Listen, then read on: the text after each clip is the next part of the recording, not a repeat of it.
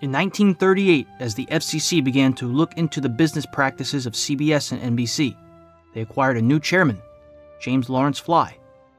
He was an ardent supporter of Roosevelt's New Deal philosophy. By 1938, Roosevelt was no longer pursuing relief programs that relied on cooperation with big business. In the president's eyes, big business had undermined the National Recovery Act. The second wave of New Deal programs were designed to combat corporate monopolies. In Fly's view, NBC and CBS were trying to monopolize control of the nation's radio stations. By 1938, NBC had 154 affiliates. 23 stations were directly affiliated with the Red Network, flagship by WEAF. 24 stations were directly affiliated with the Blue Network, flagship by WJZ, both in New York. The remaining 107 affiliates could air programs from both networks.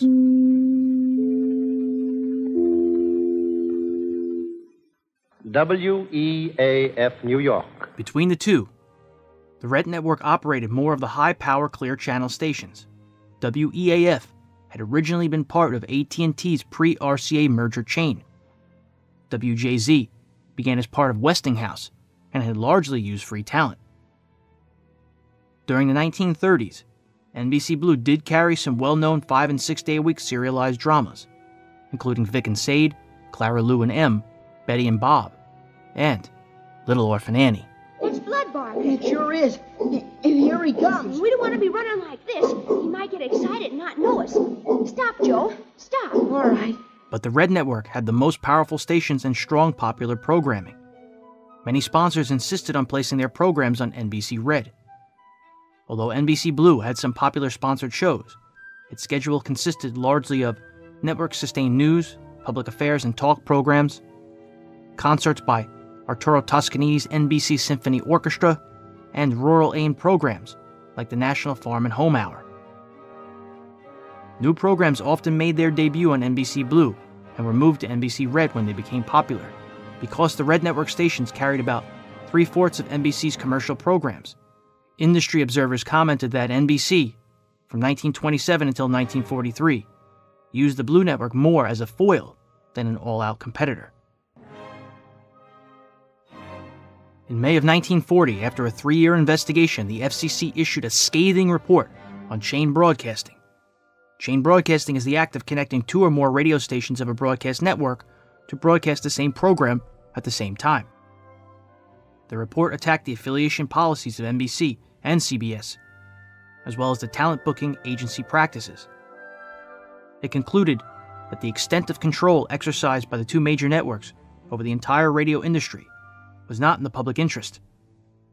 The report proposed limiting each network to one affiliated station per city and limiting one network per company, which would have had a direct impact on NBC's dual network ownership. By that year, Mutual Broadcasting was already on par with the industry leaders in terms of their affiliate roster size. Still, because mutual affiliates were mostly in small markets, or lesser stations in large ones, the network lagged behind in advertising revenue. In 1940, NBC took in 11 times as much advertising profits as Mutual. NBC and CBS argued that their overhead cost was also much higher. In 1940, MBS employed just 72 people, while CBS employed 1,900 and NBC 4,600.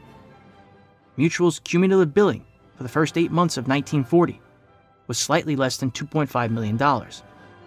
CBS's in that time was roughly 25.8 million, and NBC's was 31 million. Mutual argued as a cooperative they were being blocked by NBC and CBS's corporate structure.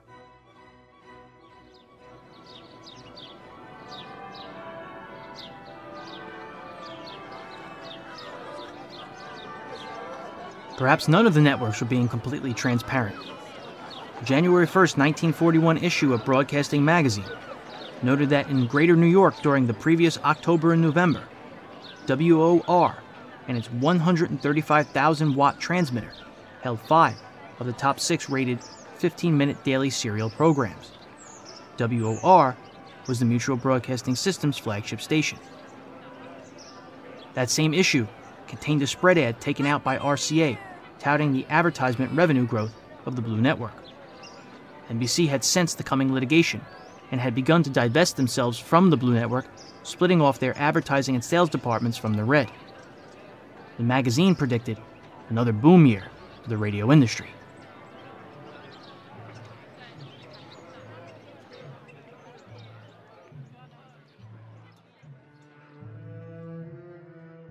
In May of 1941, the FCC issued formal rules to break up what it perceived to be monopolies in radio. Its main desire was to get NBC to sell one of its networks. It also wanted to ensure that both CBS and NBC couldn't operate multiple stations in the same city. There was good reason for the FCC's concern. On Friday, September 12, 1941, a comedy variety program called Ballantine Beer's Three Ring Time began on Mutual. Three Ring Time was the network's first program to originate from the West Coast, designed to make Mutual a true competitor in national non sports related broadcasting. Within Mutual, hopes for the program rested on the unlikely starring tandem of Charles Laughton, Milton Berle, and singer Shirley Ross. Of the 77 coast to coast mutual affiliates to carry the program, 14 of them were in cities served by less than four full time stations, i.e., less than enough to allow Mutual, CBS, and both NBC networks one outlet apiece. This meant the networks had to share time on these stations. All 14 of the stations were NBC affiliates on five year contracts.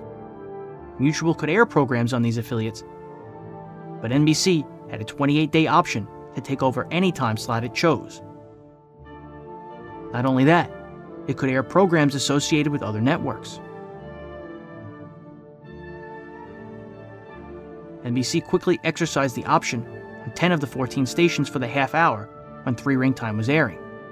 Shortly after, NBC also announced that it would carry Three Ring Time on some of its stations. By December, six of the 10 stations on which the program had started for Mutual were among those carrying it for NBC Blue. NBC effectively stole Mutual's program and put Three Ring Time on its secondary network. In 1941, NBC and CBS controlled 50 of the country's 52 clear channel stations. They had at their disposal 85% of the nighttime radio power available. Because they held dominant contracts with these stations, they were without any full time competition in 45 cities with populations of 50,000 or more. Mutual was left out in the cold. The week after Three Ring Time first aired, anti monopoly hearings began in Washington, D.C. By December, NBC and CBS had managed to assert that although they made a ton of money, they were also spending $8 million a year on sustaining programs. The FCC observed that NBC had utilized the Blue Network to block competition from CBS and Mutual, giving its Red Network an unfair advantage. Because Mutual was a cooperative network established years after NBC and CBS entrenched themselves it was excluded from, or only lamely admitted, to many important markets. But the FCC's proposed regulations were sweeping and revolutionary. The new rules wouldn't have been as simple as breaking up a monopoly. It would have required that no station anywhere in the US be linked by an option contract to one network. On the face of it, no chain broadcasting would mean no NBC and no CBS. Ruling in favor of this breakup could prevent any centrally controlled network from forming within the radio industry. It would have sent radio back to the chaotic years of the 1910s. Appeals were filed. But the Christmas and Hanukkah holidays were coming. It was thought by the experts that hearings could stretch into the new year.